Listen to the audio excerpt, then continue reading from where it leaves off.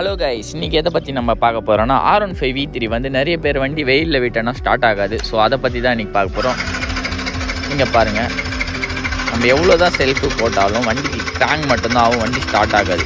So அது என்ன ப்ராப்ளம்னா கேனெக்ஸ்ட்ரு பிரச்சனை. கேனெக்ஸ்ட்ரு வந்து உள்ளே வந்து மண் அந்த ஓஸ் இருக்குல்ல ஓஸ் ஏர் ஓஸில் வந்து மண் ஏறிட்டினாலும் அந்த மாதிரி ஆகும். அப்படி இல்லைனா அதுக்குள்ளே வந்து நம்ம வண்டி ஒரு ஒன் வீக் டூ வீக் அந்த மாதிரி எடுக்காமல் இருந்துன்னா அந்த ஓஸ் வழியாக போயிட்டு குழவி கூண்டு கட்டிக்கும்.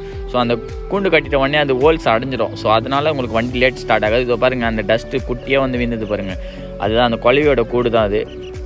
ஸோ இந்த மாதிரி உங்களோட ப்ராப்ளம் என்னென்னா இது ப்ராப்ளத்தை சால்வ் பண்ணுறதுக்கு ஒரே வழி நம்ம வந்து வண்டி தினமயத்தை யூஸ் பண்ணோம். ஸோ அதேமாரி வந்து வாட்டர் வாஷ் பண்ணும்போது கரெக்டாக அது பண்ணோம். அதுக்கப்புறம் சர்வீஸில் வந்து அது ஹேர் அடிச்சு க்ளீன் பண்ணி போட்டிங்கன்னா உங்களுக்கு இந்த ப்ராப்ளம் வராது. ஸோ இந்த மாதிரி முக்கியமான விஷயம்லாம் உங்களுக்கு தெரிஞ்சுக்கணும்னா நம்ம யூடியூப் சேனலை சப்ஸ்கிரைப் பண்ணுங்கள் தேங்க்யூ பாய் பாய்